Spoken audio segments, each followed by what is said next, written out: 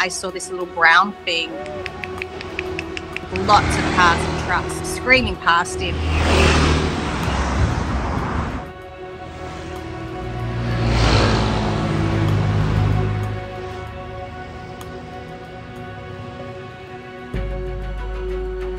We had the risk of him either running into the road and getting hit or running into the rice field and never seeing him again.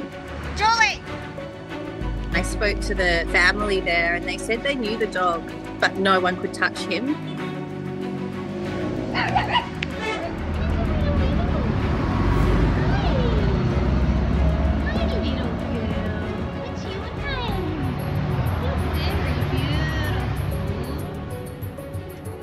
He ended up cornering himself, desensitizing him with the food and the soft sounds and the calm approach. Energy is incredibly important.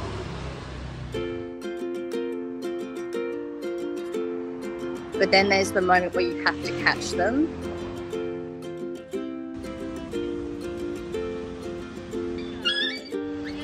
And that can be quite sudden and scary for them. It's okay.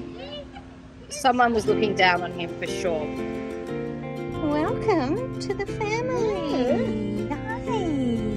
Hi. He was still incredibly nervous. But by the next morning, he was a completely different dog. Look at that tail. Look at the happiness. I honestly didn't think it was the same dog. Yeah, not as scared as yesterday.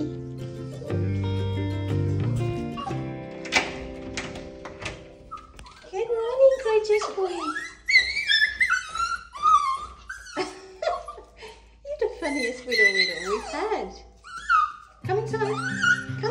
I let them come inside when they're ready to. You can come in this house.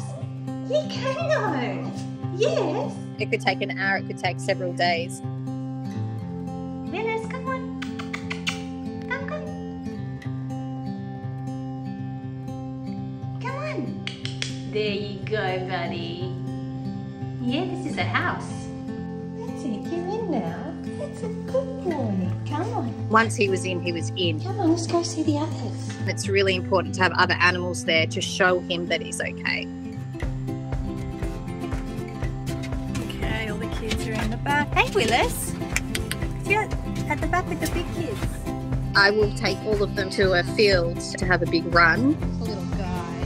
Look at this little guy. We had him on leash to make sure he wouldn't run away, but eventually I trusted him enough to let him off leash. Why would someone throw you away? He just absolutely loved his freedom. What? He changed from this scared little dog on the side of a busy road to this bouncing puppy.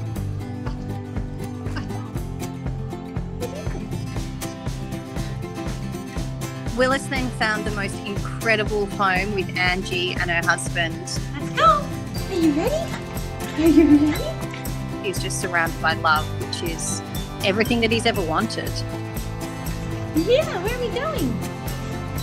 Where are we going?